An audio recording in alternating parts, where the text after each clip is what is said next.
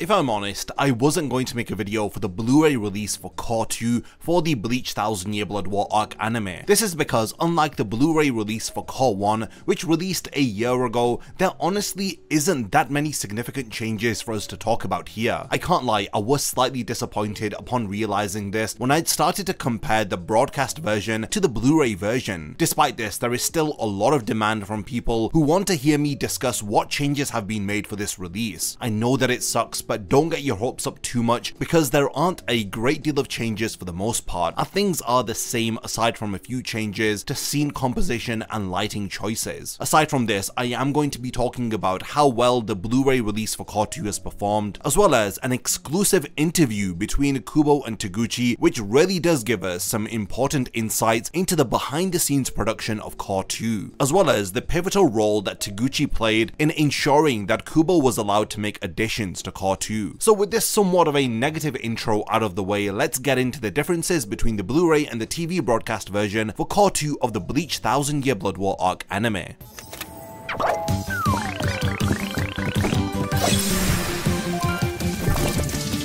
Discover the Undead Collection and be amongst the very first to join us on our journey over at Getsuga.com.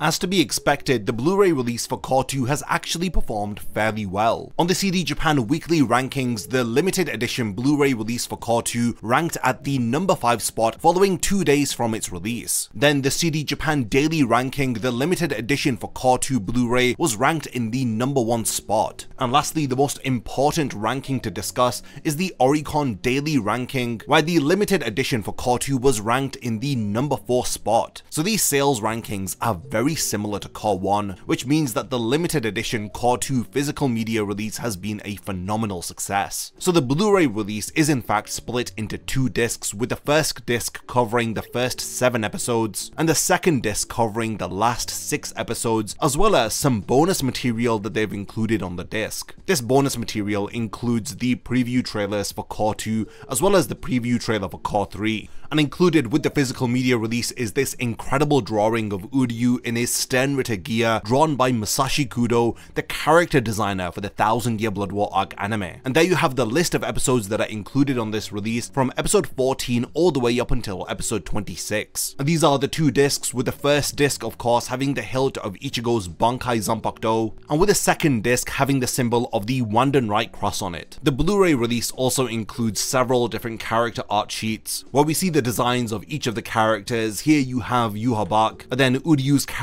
design, and the various different important points of his outfit, which the animators need to pay attention to, with these reference character design and character art sheets helping the animators to draw the characters in the various different poses, and to ensure that the characters remain on model. You can see how much attention is drawn towards the chain of Uryu's Quincy cross, all of the different poses in Uryu's face, and then the details of Uryu's Sternritter outfit, and then of course you have Haschwalth, and then Pernida and Askin. You can see the additions made to the anime the wings of Pernida, which we didn't actually get to see within the manga. And then you've got Bambietta, and we get to see her holy form there with the wings, as well as her zombified form character design. And we get some more anime original additions to the Bambis via Liltotto, where we get to see her holy form too, which wasn't included within the manga. You've got Robert Accutrone and then Meninas, and Meninas also has these additions with her holy form being shown for the very first time. And yeah, it's just really nice that they've included all of these as bonuses within the physical media release for Cour 2. Again, more notable additions like the character design of Candice, which again has her holy form. I think they've included all of the character designs for the various different Quincy here.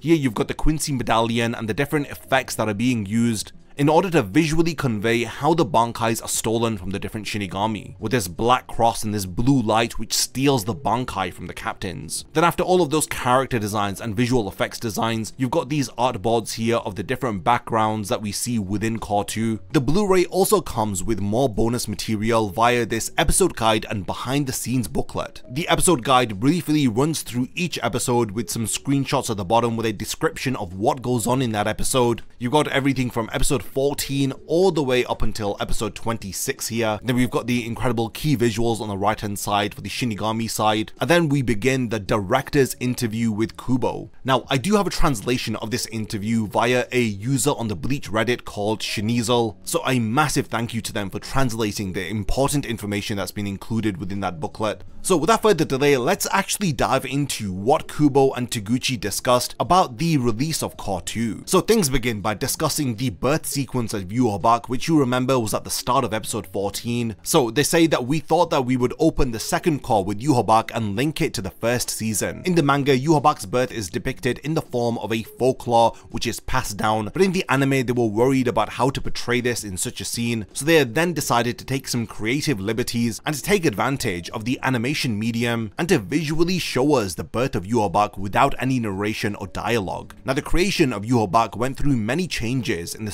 storyboarding phase, and each time they tried to visualize this scene it was very interesting as there were several different initial drafts for this sequence. Both Taguchi and Kubo agreed that they wanted to use the holy chant Yhwach during this birth scene, and they also wanted to link it to the first words of Yhwach in the opening scene of the first season, with him singing the Kaiser Gesang with his birth. Taguchi and Kubo then talk about Haschwalth as they state that there were other depictions of Yhwach's power which they wanted to show without dialogue, such as Haschwalth appearing right at the moment that Yhwach falls asleep, which indicates that the power has shifted from Yhwach to Haschwalth, and this switch is visually conveyed via the means of shadows. Within the manga, Haschwalth explains the connection, but they wanted to actually show it within the anime, since this becomes a very important plot point way later on in the Thousand Year Blood War arc. So they thought that incorporating this switch of their powers early on in the story would be a good way to foreshadow what would later happen. So if you remember, when Yhwach falls asleep, the shadow has a sliding appearance as it depicts the transfer of power from Yhwach to Haschwalth. Since Yhwach's power is transferred while he is asleep, so they had made sure that Haschwalth had appeared with his head down when he had received his power in order to preserve the fact that this transfer of power is linked to sleep. Now, following this, we then talk about Shunsui and the lieutenants, with both Kubo and Taguchi discussing how they had wanted to highlight the differences in how Yamamoto had led the Gotei 13 and how Shunsui is leading them, and they had done so by adding a scene in which Shunsui issues orders to each of the squad members. They had wanted to show the status of each of the Shinigami on the battlefield so that the viewers watching the anime would be clear on the ever-changing war situation. They paid particular attention to emphasize Shunsui's kindness while he was talking to Tatsuki, Keigo, and Mizuiro. This was really important because this is just the nature of Shunsui's character, and it highlights how Shunsui is doing things that Yamamoto would have never done as the captain commander of the Gotei 13. In addition to this, the anime staff also included new scenes involving Hinamori, Iba, Hisagi, Isane, Ikkaku and Yumichika in order to pay attention to the various different combatants on the battlefield. Now these were characters who were robbed of screen time within the manga, so it was great that the anime showcased to us how they were faring in the war. They then go on to discuss how they wanted 2 to have a focus on the Sternritters, but while keeping this in mind, they had to still remember that Bleach is the story of Ichigo. So while everything was going on on the battlefield, they had tried to parallel all of this with scenes including Ichigo at the very end of the episodes. Because at this point in the manga, Ichigo was pretty absent and he didn't appear for quite a number of chapters. So it's for this reason that the anime included some original scenes where Ichigo was undergoing specific training within the realm called Irazusando. In the manga, it was mentioned that Ichigo trained specifically with Ichibei, but it wasn't ever drawn. So Kubo wanted to include this within the anime. Now Kubo did want to include this within the manga, but he wasn't able to. Now throughout the entire time, Kubo had a very clear image in his mind about how he wanted to depict Ichigo's training, so he ended up telling Taguchi in precise detail, and he was surprised by how much extra details that Kubo had left on the table and didn't even include within the manga. The fact that Kubo was so willing and just had all of these ideas on hand had made Taguchi really happy. So Kubo did want to include all of the Irazusando scenes within the manga, but he couldn't due to the restraints of the manga medium. I mean, it just wouldn't work, just showing Ichigo suffering over extended panels, and then the manga cutting to different scenes of the Shinigami fighting. It would be way too jarring to have this within the manga. So thankfully, with the way that the anime is split up, they were able to include a lot of these Irazu Sando scenes as post-credit scenes at the very end of the episode. Now we learn that Irazu Sando is a sort of theatre with its beauty. It is calm, awe-inspiring and majestic. So from the designs that Kubo has drawn, you can see that there is a Shinto torii gate with paper curtains and a stone platform. Taguchi admits that he would not have been able to reach this level of understanding if Kubo did not guide the anime staff regarding the meaning of what Irazu Sando is. The Irazu Sando pathway tries to push people away from the stone road the more that one tries to resist the push. Additionally, the wooden sword that Ichigo was holding also gets heavier the more that the individual continues to walk down the path. Ichigo literally drags his feet forward to not stray away from the stony pathway. Irazu Sando is described as a unique training ground that is not found in any other battle shonen manga, and it has a very beautiful but strange atmosphere with it being completely silent. I mean, personally, it reminds me a lot of the Room of Spirit and Time within Dragon Ball. Now, what's important is that the images that Ichigo witnesses while he is walking down the path of Irazu Sando are very important, and Taguchi explains that these will be explained much later on in the remaining seasons of the Thousand Year Blood War arc anime. If you remember, Ichigo while he was walking down this path had visions of the mutilation of the Soul King, so Taguchi has pretty much confirmed here that we're going to be getting some additional scenes involving the Soul King, and possibly we may be getting a complete Soul King flashback. Taguchi says that he would be grateful if fans would rewatch the Irazu Sando memories and to pay particular attention to what happens within Ichigo's eyes. So rather than being sacred, the Irazu Sando pathway is actually cursed, but they paid particular attention not to tell this to the rest of the animation team because they may then depict it to be a very dark realm while they were animating it. The training ground of Irazu Sando is supposed to give off an impression of a very old, abandoned, decrepit and terrifying shrine. They had a struggle with the story as they had tried to make sure that things weren't depicted to be too scary, as they wanted to find a balance between the terrifying aspects, but yet still trying to depict them with some level of beauty. So Kubo made sure that they could depict the Irazu Sando Road as Inka Hall. Inka means a philosophical seal in which obtaining the seal is considered to be the highest form of understanding of one's innermost soul. Inka translates to transmission, in which a student receives his teacher's philosophies. So if you were to apply all of this to what Ichigo is going through, Ichigo's Zen Buddhist teacher is Ichibei, and Ichigo obtains the seal from Ichibei. This results in Ichigo's soul being uplifted to a new level. Apparently, the realm of Irazu Sando is located underneath Ichibei's palace, and this is similar to how there is a massive training area under Urahara's shop. So we learn that the individual who walks down the path of Irazu Sando is not supposed to look at the stone path, but instead they are supposed to focus on the torii gate that is ahead of them. Ichigo suffered because his gaze was on the stone, so the heavier that his steps ended up becoming. The torii gate then turned whiter and whiter. Originally, the torii gate was black, which represents the essence of Ichibei, with his character of course having control over the color black. Now the rain that falls outside of the stone path does in fact make an individual's body decay, so if Ichigo ended up straying off of the path of Irazu Sando, then his body would have ended up rotting away. Now we're going to be talking about the color scheme that was utilized within 2, now that we know that there was some controversy with the colors that were used, as fans weren't too happy with the red sky, but Taguchi says that they wanted the sky to be red and the buildings to be blue, because they wanted to establish that the blue of the Quincy's had completely overtaken the red of the Shinigami. This visually conveys how the Quincy who had been hiding within the shadows had finally risen to above the ground, and how the pride of the Shinigami had ended up rising up to the sky in response to the Quincy. So they then talk about Mayuri's glowing clothing which appears in Cour 2, as they say that they wanted Mayuri's clothes to look like the many coloured circuit boards that are found within gaming consoles. I think that they did an excellent job at achieving this. So then moving on to this, we then talk about the Bankai of Shinji, as Taguchi says that they used CGI for Shinji's Bankai in order to show the rippling effect of the pink and golden lotus, and this is something that is typically found on the top of Buddhist altars once again highlighting how much influence Shinto Buddhism has within the story of Bleach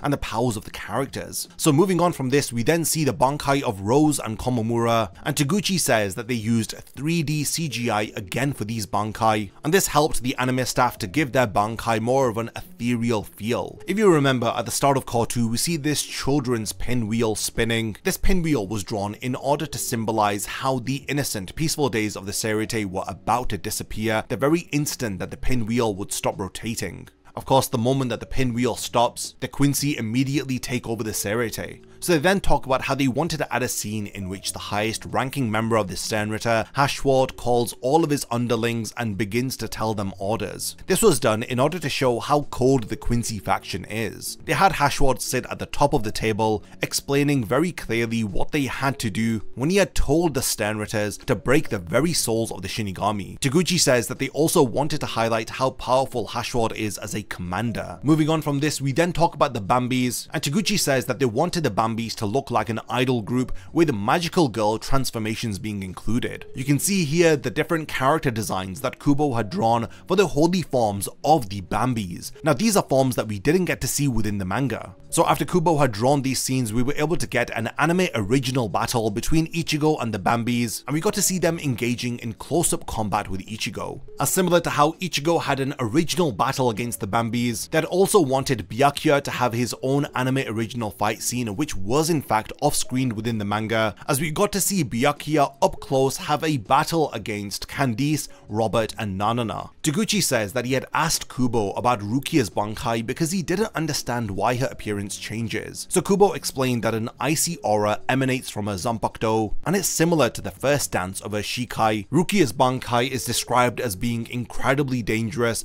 despite its outward beauty. So now we get some talk about the final two episodes of Cour 2, which included the original scenes between the Zero Division versus the Schutzstaffel. So we learned that during the clash between Squad Zero and the Schutzstaffel, the anime staff's focus was on Uryu, the secondary main character of Cour 2. Kubo was not able to draw Uryu as much as he wanted to within the manga, and Uryu was pretty much the star of this story arc. This was mostly because of the number of pages that he was restricted to per chapter, as well as the tight weekly schedule of releasing manga chapters. So in order to correct some of the mistakes from the manga, they decided to give Uryu more of a role during this battle against the Zero Division. Kubo and the anime staff thought about how they could incorporate Uryu more during these scenes, and thanks to Kubo's incredible cooperation, they were able to create the final two episodes which had so many different anime exclusive additions. Taguchi says that when they had thought about the Bankai of these Squad Zero members, the first consideration was whose Bankai should be shown. They had ended up deciding on showing Senjumaru's because of her name, which means a thousand hands. So they thought that she would have a fitting fighting style, which would allow her to face off against several opponents at the same time. Since she targets multiple opponents, they thought that it would be appropriate that the rest of the Zero Division would entrust her with taking out the powerful Schutzstaffel members. The animation animation team had proposed this idea to Kubo, who readily created the storyboards and visualizations of Senjumaru's gigantic weaving loom, and you can see the designs of Senjumaru's Bankai that Kubo had submitted to the animation staff. While these designs were not quite finalized, they were able to include Senjumaru's Bankai within episode 26 based off of these designs that Kubo had drawn for them. Taguchi was really enthusiastic about the final two episodes of Cour 2, and he was really looking forward to the reaction of fans with all of the new changes that were being made to the anime. Kubo states that if he were to change things then he would have also had Senjumaru battle against the Schutzstaffel, so when he had heard the anime staff make this suggestion to him, he had immediately accepted their idea. He feels that the animation team have a very deep understanding of his work, and he is very grateful for this. They're literally predicting the things that Kubo would have changed and done himself. So it was apparently the anime staff's idea to have the rest of the Zero Division members kill themselves as they wanted to show that it was okay to die in order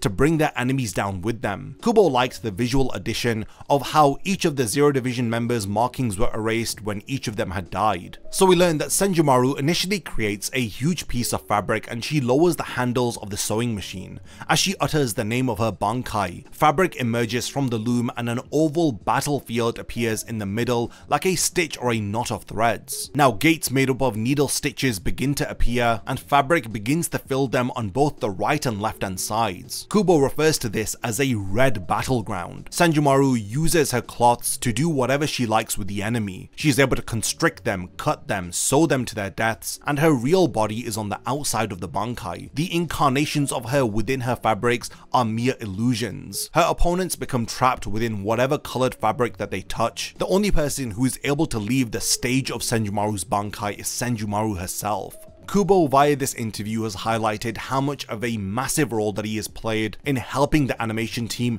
and it's fair to say that Kubo is in fact a part of the animation team. And Kubo honestly gushes over how familiar the animation team is with his source material and he talks about how the relationship that he has built with the animation team allows both parties to express and respect each other's original ideas. All in all, additions are being made actually by Kubo as well as the animation team, which to be honest is some of the most reassuring information that we've learnt from this booklet. Now the last bit of behind the scenes information that we have from the Thousand Year Blood War 2 booklet is in reference to Ichigo's Getsuga Jujisho. Taguchi talks about how they had wondered how to effectively show this within the anime, so Kubo had told them that the Getsuga Jujisho involves creating a horizontal Getsuga with the left hand sword and having this collide violently with a vertical Getsuga with the right hand sword. He states that it has to form a cross. Thus in the anime they were able to display the firm footwork and stance of Ichigo while one foot was in front of the other as he fired off the Getsuga Jujisho. So yeah, that was the entire behind the scenes discussion between Taguchi and Kubo and it really does highlight their eagerness and excitement about making new changes to the anime. It also highlights how much of a difficulty Kubo had originally when the manga was releasing. We know that he had a torn shoulder, there were a lot of things that were left on the table that he wasn't able to include. I'm just so happy that he's able to now make these additions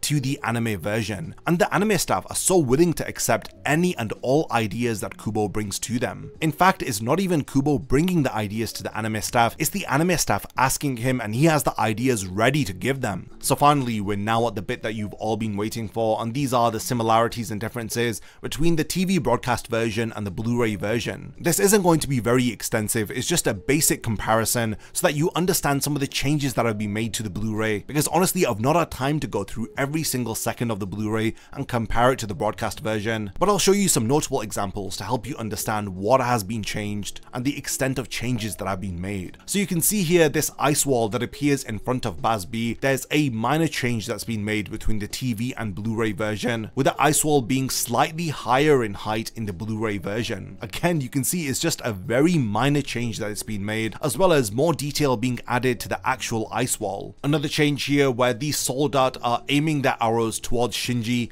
and you can see the visual effects have been slightly altered within the Blu-ray version. Now there's a super minor change that's been made here, and it's when the soldat are affected by Shinji's Bankai, but in the Blu-ray version they've added small particles of Reishi. So this is the TV broadcast version, you can see that there's no visual effects around the Quincy Reishi here, but if you look at the Blu-ray version they've added these small special particle effects just to enhance the image. But honestly, this is the extent and the level of changes that have been made between the broadcast version and the Blu-ray version of Cour 2. It's these minor additions that you're not going to really notice unless you're really looking for them. Okay, in this example, you can see that Bambietta's holy form is improved within the Blu-ray version. There's a lot more detail and pattern included within her halo, for example. Her Reishi looks a lot better in my opinion. And once again, the Reishi has been improved within the Blu-ray version with more particle effects being added. So this is how the TV version of the Reishi looks like, and this is how the broadcast version looks like. There's no outline anymore around the Reishi, and you can see a lot more particles and more detail that's added. But again, in the grand scheme of things, it's not a massive change, and it's nowhere near to the level of changes that were made to the Cour 1 release. Again, you can see in this Blu-ray versus TV broadcast version, the only changes have been small color corrections and brightness modifications, but again, it's honestly like trying to look at two images and spotting the difference,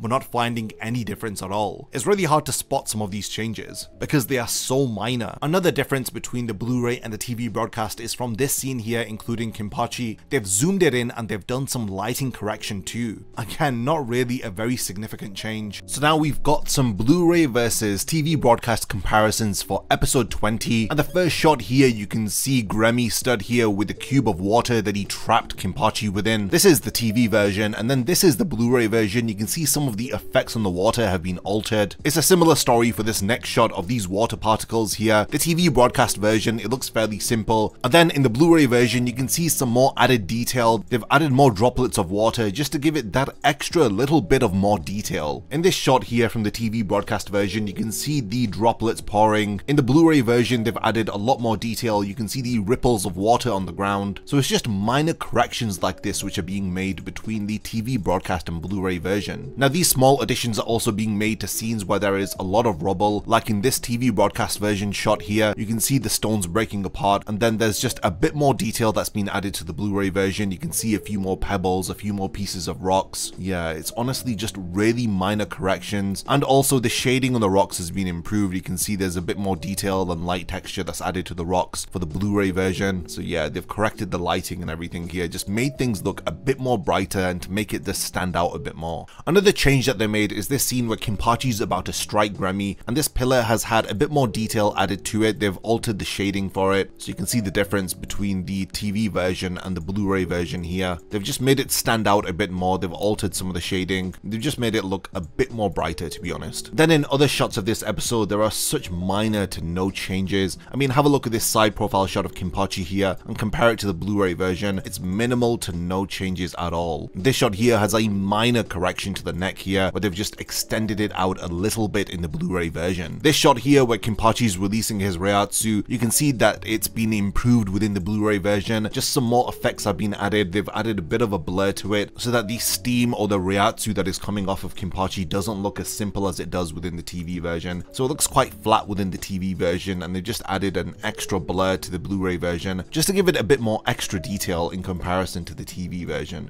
which again, yeah, does look quite flat. So there's this shot here where we can see Kenpachi through the rubble and a detail has been added to the rubble in the Blu-ray version. You can see it's just some added texture just to make the rubble look a bit more better. And honestly, this highlights perfectly the changes that we're seeing between the TV and Blu-ray version. The Blu-ray has just done a great job with just adding extra detail, doing some minor corrections, fixing things that just weren't there in the TV broadcast version. But it's hard to really expect the animation team to do an overhaul of Cour 2 and they're so busy with Cour 3. Uh, I mean, changes like this, it's really nice. Uh, just makes everything stand out that much more. Okay, and the final correction that I want to talk about from episode 20 is this shot here where we can see the side of Gremmy with his hood covering his face. And again, corrections have been made to the rubble around him. Uh, you can just see that things have been made to look a bit more brighter. Some more detail has been added. Where it was really dark in the TV version, they've just made it look a bit more brighter in the Blu-ray version. Some more changes here. The first two you can see include some lighting and color changes, where we see the character of James with the color being drastically changed in a Blu-ray release. And probably the most notable change here is this drawing of Haschwalth, which has been completely redrawn for the Blu-ray. He looked quite a lot more derpier within the TV broadcast version, but thankfully they've corrected this for the Blu-ray release. So some more changes here. You've got this drawing of Liltotto here from the TV broadcast version, and this has been corrected in the Blu-ray version. As you can see, the drawing of Liltotto's face has kind of been fixed via a minor alteration. So you've got some more changes here from the battle between the Schutzstaffel and the Zero Division. Again, it's lighting changes, so this is the TV broadcast version and this is the Blu-ray version. The scene involving Askin has also been changed. It's just a minor visual effects change, but this red bubble appears to be a lot more transparent within the Blu-ray release. So there's again these changes during Askin's battle against Kirinji, where this green puddle is changed to purple, and the continuity continues in all of the scenes where this green is changed to purple here. So during Gerard's battle against Senjumaru, we can see that the bindings that tie him down have been changed around within the Blu-ray, where they're given this glowing golden effect. Again, this is how they look like within the TV broadcast version, and this is how they look like within the Blu-ray version. So the TV broadcast version has also been corrected, where they had forgotten to draw the Schutzstaffel members in their holy forms, like in scenes like this. So this has been corrected in the Blu-ray with their holy forms being properly depicted. Again, you can see it here with Lille Barro too, and that his holy form has been drawn within the Blu-ray version. Again, this trend continues here. During Senjumaru's battle against Gerard, the Holy Form is included within the Blu-ray version. And again, you see it here against Pernida's brief battle against Kirio, and that you have uh, Holy Form drawn. So yeah, there are other changes here like Ichibei's face. This is the TV broadcast version, and this is the Blu-ray version. So some minor changes have been made, like the black within his eyes has been turned white, and his eyebrows have also got a white color to them. Yeah, it's just a lot more white and a lot more detail that's been drawn to this version. It looks really nice, it's rendered really well too. And then again, like I mentioned earlier, any scene where their holy forms were not drawn on the Schutzstaffel members, they've corrected this within the Blu-ray. So yeah, there you've got Askin's holy form there. So again, there are minor changes. All of these changes that I've discussed are from episode 26. But honestly, there isn't that many changes between the Blu-ray and TV broadcast version. It's either just a few compositing changes, or they've made scenes look slightly brighter or with more color in comparison to the broadcast version. Aside from the things that I've shown you here, there's literally no other changes. And I hate to be that guy, but honestly, it's nowhere near to the level of corrections that we got for the Blu-ray release of Cour 1. I want to give a massive thank you to Perceiver, Naim, as well as Mr. Red Pants, who went through all of the effort of looking for all of the changes between the broadcast version and the Blu-ray version, and they had posted these comparisons up on their Twitter pages. I'm confident they'll be posting more comparisons in the future, so definitely go and follow their Twitter pages. But to be honest, I'm quite content with the comparisons that we've seen and discussed within this video. While there are some minor changes that have been made, it's honestly nothing to get really excited over. The thing that I was really happy about with this Blu-ray release was the information that we learned from Taguchi and Kubo that I spoke about earlier on in the video. So yeah, while the Blu-rays are a great way to experience the second cour of Bleach, don't expect there to be massive changes. But aside from this, there are a lot of extra things included within this Blu-ray release, like the character designs that I showed you earlier, as well as the art VODs, the exclusive sketch drawn by Masashi Kudo, then of course the interview with Taguchi and Kubo. So we've now reached the point of the video where I want to hand over the discussion to all of you. What do you guys think about the Blu-ray release for Cour 2? In my opinion, it's a great way to support Bleach, so definitely go out and purchase it. And lastly, thank you for watching this video. Let me know all of your thoughts in the comments, and let me know if there are any differences between the Blu-ray and the TV broadcast version that I haven't mentioned within this video. Lastly, thanks for making it to the end of this one, and I cannot wait to see you in my next Bleach video.